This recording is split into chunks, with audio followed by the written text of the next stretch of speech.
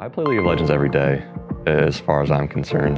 The amount of time varies for sure. It could just be a couple games for an hour or two. It could be all day.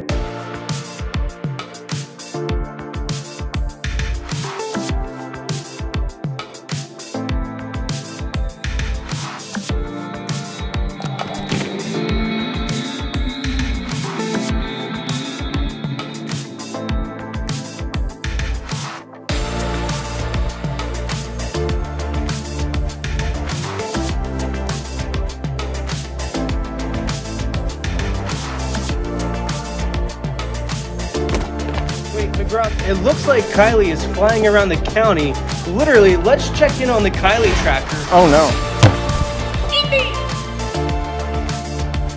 It just spoke to you. Honestly, that makes me want to eat it more.